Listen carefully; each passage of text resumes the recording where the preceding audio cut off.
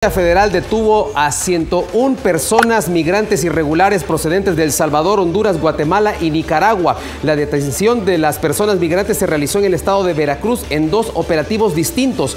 Uno de ellos sucedió cuando la policía interceptó un camión de carga que transportaba a 86 personas, entre ellas varios menores de edad. Los otros 15, las otras 15 personas migrantes fueron interceptadas mientras viajaban en un autobús.